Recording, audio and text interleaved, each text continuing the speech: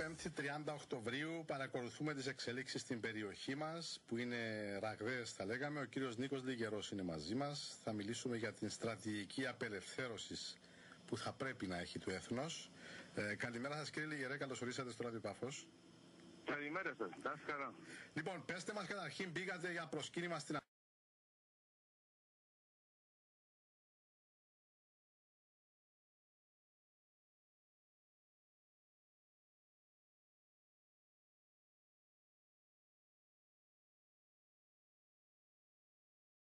Αμόχωστο κύριε Λιγερέ, πριν πάμε στο θέμα μας; Ε, έχετε δίκιο.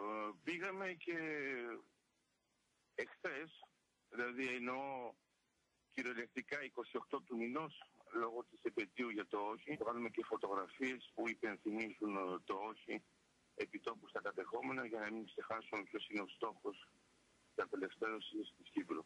Μάλιστα. Λοιπόν, τώρα, παρακολουθώντας τις εξελίξεις στην περιοχή μας, παρακολουθώντας τις συμφωνίες ε, Κύπρου, Ελλάδας, ε, Αιγύπτου, ε, την στενή αυτά που κάποιοι θεωρούσαν.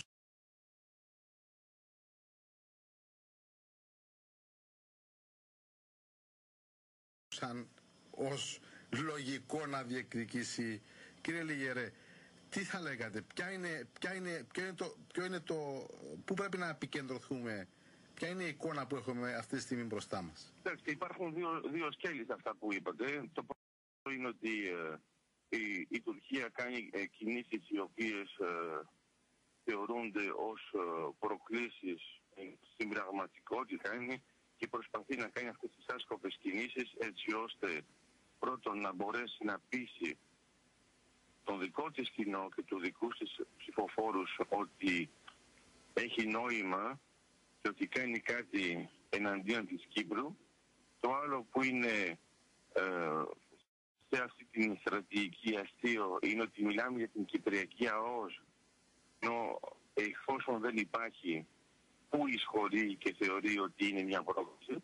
Από την άλλη πλευρά του είπατε πολύ σωστά ότι οι σχέσεις μας με τα κράτη που είναι και στην περιφέρεια, δηλαδή στην Ανατολική Μεσόγειο, όπως είπατε πολύ σωστά και για την Αίγυπτο και ε, για το Ισραήλ, σε σχέση βέβαια με την τοποθέτηση και την Κυπριακή ΑΟΣ, βλέπουμε ότι οι σχέσεις μας ενισχύονται, ότι λειτουργούν συμμαχικά και δεν πρέπει να ξεχάσουμε ακόμα και ε, τις δηλώσεις της Ευρωπαϊκής Ένωσης και σε επίπεδο Ευρωκοινοβουλίου και σε επίπεδο κομισιών, ακόμα και πιο πρόσφατα είχαμε δηλώσεις ξεκάθαρες και από τη Γερμανία και από την Γαλλία, τα οποία όταν τα συνδυάζουμε όλα αυτά ως, ως χάρτη, βλέπουμε ότι έχει τελειώσει η μικρή σκακέρα που αφορούσε μόνο και μόνο δικοινοτικές συναντήσεις πάνω στο θέμα της πράσινης γραμμής.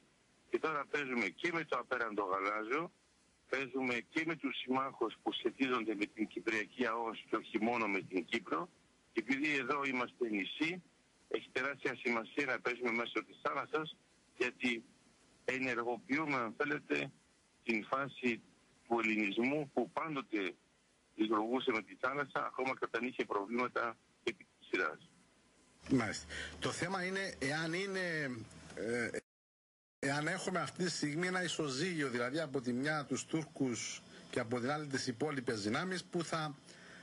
Και η Ρωσία και η Αμερική μπορεί να φανταστείτε ότι παίζει οριακά. Και για αυτό το λόγο μιλάει μόνο και μόνο για σεισμικό καράβι και μιλάει μόνο και μόνο για μετρήσεις σε έναν χώρο που έχουμε ήδη αυτές τις μετρήσεις σεισμικές.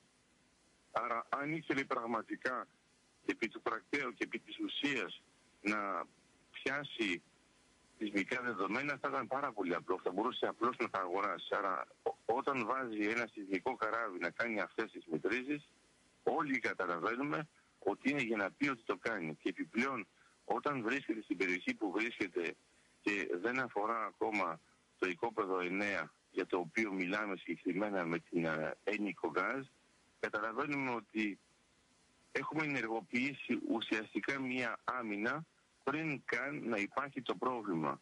Και όταν βλέπουμε ότι κάνει ε, αυτή την νοτέξ που αφορά τον Οκτώβριο έως τον Δεκέμβριο που είναι η περίοδος όπου θα λειτουργήσει το γεωτρύπανο είναι απλώς για να μπορέσει να πει ότι έκανε και αυτή κάτι. Το θέμα είναι ότι η Έννη Κογκάζ ως κοινοπραξία και η Έννη ειδικά ως Ιταλική εταιρεία ξεκαθάρισε ότι συνεχίζει τη διαδικασία με σταθερό ρυθμό και χωρίς καμία αλλαγή για έναν πολύ απλό λόγο άμα το σκεφτούμε που σχετίζεται βέβαια και με τα οικονομικά είναι ότι η χρήση ενός γεωτρύπανου όταν είναι ένα φυσικό αέριο είναι το κόστος του είναι 450.000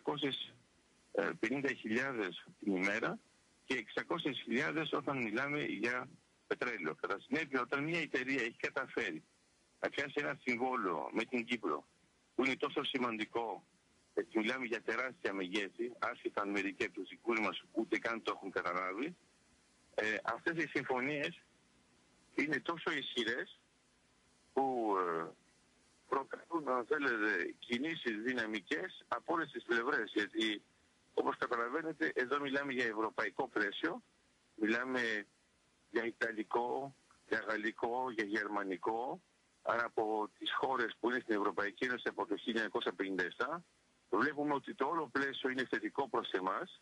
Και πράγμα το οποίο είναι απίστευτο και τώρα το λέω και από την πλευρά της Ελλάδος, ότι ε, ένα νησί που δεν είχε ΑΟΣ πριν 10 χρόνια, τώρα βρίσκεται με συμμάχους που θεωρούν ότι είναι απόλυτα φυσιολογικό να υποστηρίξουν την Κύπρο όσο αφορά την Κυπριακή ΑΟΣ. Ενώ όπως το ξέρετε, γιατί τα παρακολουθείτε και σας ξέρω, ε, πριν 10 χρόνια κανένας δεν θα είχε πει τίποτα αν είχε βρεθεί σεισμικό καράβι στην περιοχή. Σωστά. συνέπεια είναι πολύ σημαντικό αυτή η αλλαγή φάσης που έγινε και τώρα μιλάμε για τέτοια δεδομένα ε, ενώ δεν θα είχαμε ούτε καν διανοηθεί πριν 10 χρόνια ότι σε 10 χρόνια θα κάναμε αυτές τις κινήσεις. Ναι, ναι. Ε, δεν, δεν θα αναμένατε βεβαίως, ε, μας είπατε ε, αναλυτικά για το πώς έχουν αντιδράσει οι εταιρείες και οι χώρες από τις οποίες προέρχονται, αλλά μια ευρωπαϊκή συνολική ε, αντίδραση δεν θα ήταν καλύτερη, κύριε Λιγερέ; Μα, μα έχει γίνει αυτή η ευρωπαϊκή αντίδραση και σας υπενθυμίζω ότι δίνεται ξεκάθαρα η Ευρωπαϊκή Ένωση ότι όταν κάποιος θέλει να ενταχθεί στην Ευρωπαϊκή Ένωση δεν μπορεί να μην αναγνωρίζει τις ε, ενώ μιλάμε για ενταξιακές πορείες που πριν 10 χρόνια δεν θα μπορούσαν να ασχοληθούν με την Κυπριακή ΑΟΛ, τώρα το βάζουμε στο τραπέζι και θεωρούμε ότι κάποιος που δεν σέβεται την Κυπριακή ΑΟΛ και δεν σέβεται την Κύπρο δεν μπορεί να ενταχθεί και να προσπαθεί να προωθήσει την ενταξιακή του πορεία ομαλά.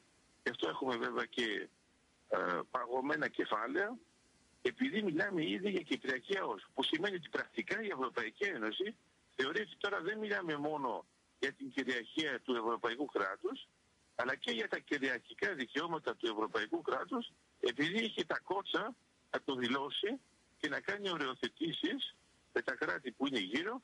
Κατά συνέπεια έχουμε 28 χώρες που σέβονται αυτό το πλαίσιο, συν τις χώρες που είναι γύρω, όπως είναι η Αίγυπτος, το Ισραήλ και ο Λίβανος βάλτε επιπλέον τις δύο μεγάλες χώρες όπως είναι η Ρωσία και η Αμερική, καταλαβαίνετε ότι η Τουρκία ξαφνικά δεν παίζει με έναν μικρό παίχτη με τον οποίο μπορεί να κάνει εύκολα λεονταντισμούς και γι' αυτό κάνει αυτή την τακτική όπου χρησιμοποιεί υποτίθεται συμφωνίες που έχει κάνει με τα κατεχόμενα ενώ γνωρίζει ότι αυτές είναι παράνομες στη λόγω των ψηφισμάτων του ΟΗΕ ε, για να πει ότι μπορεί και εγώ να περάσω από εκεί. Ναι. είναι το θέμα είναι πώς θα κάνει πίσω χωρίς να εξευτελιστεί κύριε Λιγερέ. Είναι πάρα πολύ απλό. Θα κάνει πίσω όταν θα τελειώσει η Νοτέξ. Και εφόσον τελειώσει η Νοτέξ ε, θα πει απλώς ότι εγώ έκανα ε, έρευνες οι οποίες βέβαια θα είναι ανούσιες αλλά αυτό που έχει σημασία είναι ότι εμείς να μην έχουμε καθυστερήσει ούτε μία μέρα το πρόγραμμα να συνεχίσουμε ακριβώ αυτή την πορεία ενεργοποιώντας αυτά τα συμμαχικά πλαίσια και βέβαια να βρούμε φυσικό αέριο στον Ονασαγόρα γιατί και αυτό είναι η μεγάλη υπόθεση είναι ότι στον κυπριακό λαό ότι είναι από τα πιο φθηνά μπλοκ ενώ για τον μπλοκ 9, 9 από τις 15 κοινοπραξίες ήταν υποψήφιες για αυτό το μπλοκ ότι έγιναν εκεί πέρα διαπραγματεύσεις και με την Total, την Novatec και την Gazprom, καταλαβαίνουμε ότι να το έχει πάρει η Έννη Κογάς ε, δεν πρόκειται να καθυστερήσει και εμείς όταν θα έχουμε επιτέλους πρακτικά φυσικό αέριο από γεωτρύπανο και στο κοίτασμα Ονασαγόρα θα δείτε ότι θα μιλάμε περισσότερο για αυτό το κοίτασμα γιατί θα είναι πιο αξιόλογα τα ευρήματα από το κοίτασμα Αφροδίτη που γνωρίζουμε εδώ και χρόνια. Μάλιστα. Ε, να ρωτήσω ένα τελευταίο κύριε Λεγερέ, ε, τη στάση της Ελλάδας και την αποστολή τελικά ε, της ε, φρεγάτας και του υποβρυχίου, βεβαίως στα πλαίσια συμφωνιών διεθνών ε, και του ΝΑΤΟ κτλ. Ε, πώς την έχετε δει; Κοιτάξτε, ελπίζω να καταλαβαίνετε κι εσείς εντελώς άσχετο, αλλά βέβαια εντελώς στοιχεία γίνεται αυτή την περίοδο. Είναι ακριβώς όπως είναι και οι ασκήσεις του Ισραήλ ή ακόμα και οι ασκήσεις της Ρωσίας. Δηλαδή δεν είναι ότι αυτό είναι προγραμματισμένο για αυτό το σκοπό, αλλά θυμίζουμε ότι εμείς εδώ είμαστε. Και κατά συνέπεια βρισκόμαστε, αν θέλετε, σε μια περίπτωση όπου πριν καν ενεργοποιηθεί οποιαδήποτε κίνηση, ουσιαστικά την αφοπλίζουμε με την παρουσία μας και δηλώνουμε ξεκάθαρα και στην Κυπριακή Δημοκρατία ότι ξέρετε ε, δεν είσαστε μόνοι σε σχέση με το θέμα της Κυπριακής ΑΟΣ, εμείς είμαστε εδώ και το σεβόμαστε.